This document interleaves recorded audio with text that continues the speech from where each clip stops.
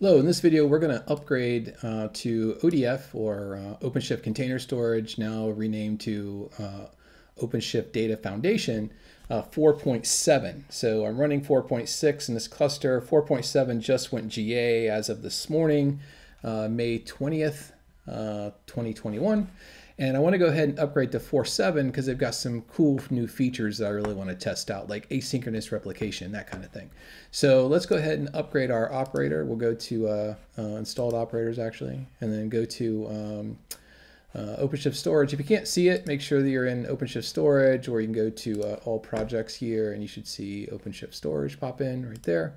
And then select uh, subscription, your channel, and you'll see 4.7 right down here for stable GA and click save.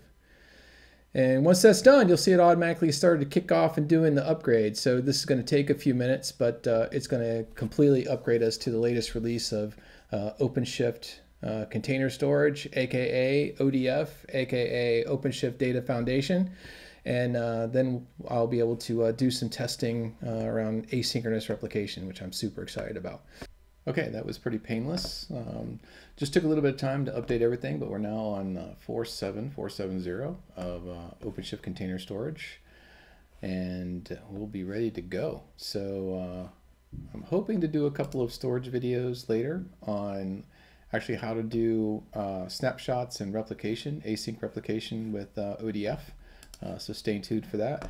Otherwise, we are ready to go with OC S uh, 47 on OpenShift Container Platform 479.